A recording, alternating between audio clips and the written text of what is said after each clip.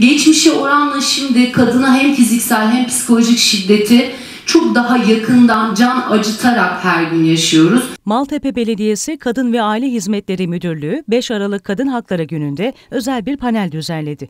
Kadınların sorunlarını kadınlar konuşuyor başlıklı panelin konuşmacıları arasında KRT Program Müdürü gazeteci Hilal Solmaz, KRT Program Sunucusu Şebnem Yiğit, Avukat Özge Güngör ve Avukat Süreyya Kardelen Yarlı yer aldı.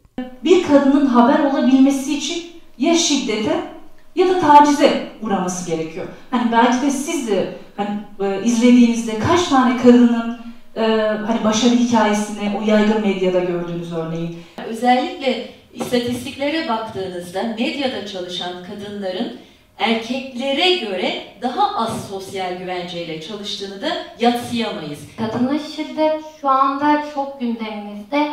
Ancak bu şiddet her hayatın her alanında mevcut.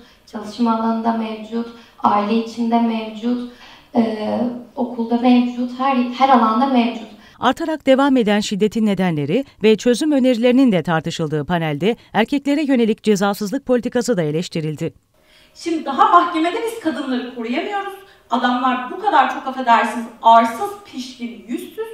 Ve biz diyoruz ki çok güzel oldu, her şey harika oldu, kadınlar için mükemmel haklar getirdik.